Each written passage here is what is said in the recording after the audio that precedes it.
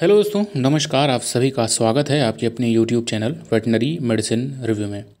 दोस्तों, आज मैं आप सभी को सेरीडी फोर्ट जो बोलस आता है मर्क इंडिया लिमिटेड का, इसी के बारे में बताने वाला हूँ कि इसका उपयोग कब, कहाँ और कितना किया जाएगा और किस तरह से देना होगा। सारी की सारी जानकारी मैं इस वीडियो में आपको देने वाला हूँ। तो अगर अभी तक आपने इस चैनल को सब्सक्राइब नहीं किया है तो चैनल को सब्सक्राइब कर लीजिए, साथ ही साथ बेल आइकन नोटिफिकेशन बटन को दबा के ऑल पर सेलेक्ट कर लीजिए, जिससे आगे आने वाली वीडियोज़ की नोटिफिकेशन आपको सबसे पहले और सबसे तेज़ मिलती रहें।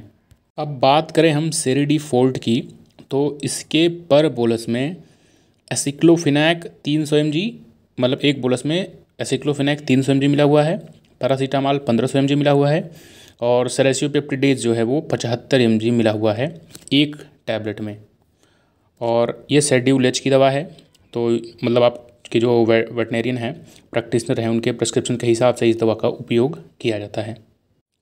सेरिडी फोर्ड जो बोलस है इसका उपयोग हम लोग दर्द सूजन और बुखार के स्थिति में करते हैं। जो एसिक्लोफिनैक पैरासीटामॉल होता है ये दर्द और बुखार को ठीक करने में अत्यंत प्रभावशाली है। और जो सरेसोपेप्टिडेज है ये प्रोटियोलाइटिक एंजाइम है ये सूजन को कम करता है गांठ को ठीक करता है। इस समय जो लिम्पी चल रहा है तो उसमें भी ये काफ़ी ज़्यादा यूज़ हो रहा है और काफ़ी अच्छा इसका रिज़ल्ट भी मिल रहा है।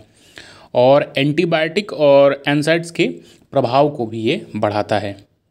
तो इसको आप थनैला में, थन में दर्द, तपन और सूजन की स्थिति अगर है तो वहाँ पे दे सकते हैं। उसके उपचार में सहायक है ये। लंपी जो रोग है, लंपी चर्म रोग, चमड़ी में होने वाले छाले के उपचार में ये सहायक है। और एडेमा है, पानी भरी सूजन जो होती है, किसी भी प्रकार की चोट के कारण होने वाली सूजन में भी आप इसका उपयोग कर सकते हैं। और मांसपेशियों में दर्द, उठने, बैठने और चलने चलने में अगर परेशानी हो रही है तो आप इस सेरेडिफोल्ट बोलस को अपने जानवर को दे सकते हैं। और काफ़ी शानदार रिज़ल्ट मिल रहा है। इस समय जैसे जो लिम्पी स्किन डिज़ीज़ है, इसमें दर्द और सूजन की स्थिति रहती है तो वहाँ पे काफ़ी शानदार ये रिज़ल्ट दे रहा है। इसके डोज़ की बात की जाए, कितना देना होता है तो बड़े जानवरों को दो बोलस दो बोलस सुबह, दो बोलस शाम करके जो बड़े जानवर हैं, जिनका वज़न चार पाँच कुंतल के आसपास है, उनको देना होता है दो बोलस सुबह, दो बोलस शाम करके। और जिनका वज़न एक से दो कुंतल के आसपास है, उनको एक एक बोलस करके आप दे सकते हैं जानवरों में। और छोटे जो हैं जानवर, उनमें आधा आधा बोलस आप दे सकते हैं, और एकदम से छोटे हैं तो उनको एक बोलस में तीन चार खुराक, पाँच खुराक बना के वज़न के हिसाब से दे सकते हैं।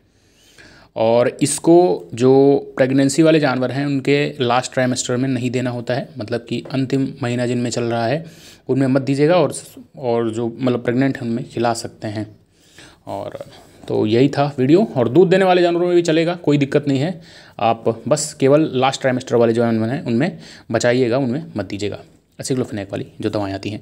तो यही था वीडियो, कैसी लगी है वीडियो? इसका दाम है सत्तर रुपये सत्तर रुपये का ये चार बुलस का स्ट्रिप आपको मार्केट में मिल जाएगा। तो यही था वीडियो। कैसी लगी है वीडियो? आप हमें कमेंट सेक्शन में बता सकते हैं।